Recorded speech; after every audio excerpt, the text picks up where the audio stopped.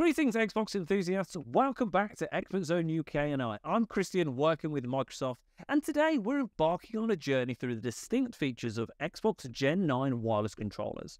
Prepare for a few features that will elevate your gaming adventure. Dynamic Latency Input, or DLI, is the secret sauce in Xbox controllers, working behind the scenes to make your gaming experience smoother than ever. It's the tech wizardry that minimizes that annoying input lag by fine tuning the wireless signal between your controller and console in real time. Picture it as your controller being on a mission to respond faster than ever. So when you press a button, bam, your game reacts instantly, creating a gaming experience that's not just good, but downright exhilarating. DLI transforms your controller, ensuring that every move you make in the gaming round feels like second nature, keeping you hooked and ready for the next gaming adventure. How about QuickShare? Xbox QuickShare is a convenient feature designed for capturing and sharing moments during gameplay. With a simple button press, users can take screenshots and record clips without interrupting their gaming experience. It eliminates the need to navigate through menus, providing a straightforward way to document and share in game highlights. Whether you want to showcase your victories or humorous gaming moments, QuickShare offers a quick and effective solution to creating shareable content. To change your QuickShare settings, head to the settings on your Xbox, go into Preferences and select Capture and Share. Here you can change if the button screenshots or screen records, how the button works, where it uploads to, and what the resolution and length is of the recording. QuickShare is easy to activate in gaming, meaning you can screenshot and record in an instant, and you can forever relive those victories over your friends.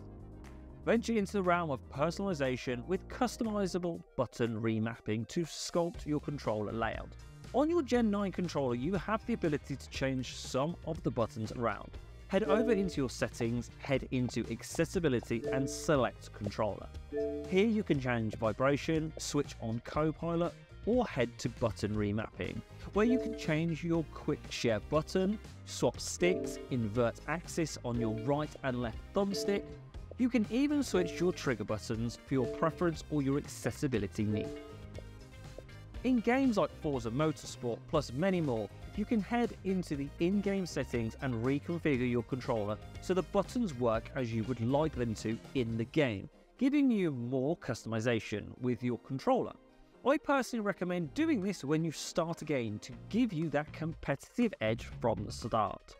While you're here, 98% of people that consume videos on this channel aren't subscribed. So if you've ever enjoyed any of our content, do me a favour and hit that subscribe button for more tailored content like this.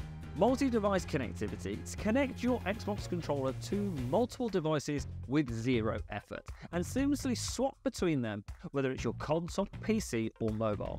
It's all at your fingertips with a simple swap command. If like me you use the same controller across multiple devices, all you have to do to swap between the devices is simply hold the sync button on the back. It will swap over to the last connected device. Once you want to swap back, simply double tap the same sync button and it's done.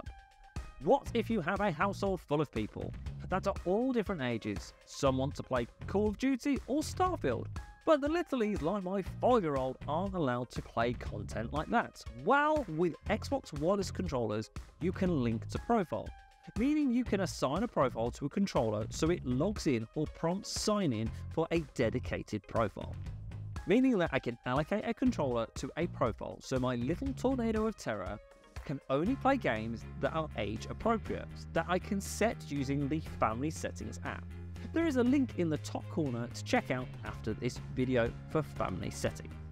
To link to profile, head to settings, select account, select sign in, security and PIN. First thing to select here is if you're linking an adult profile is to select sign in and security preferences. Here you can set it to no barriers, add a pin, lock it down or customize for shared consoles. I would at least add a pin to hide content that's not appropriate for younger gamers. But in this case, I'm going to leave this controller set to no barriers. I'm going to press B to go back and select this controller signs in. And as it's my account, I want to link it so it selects me.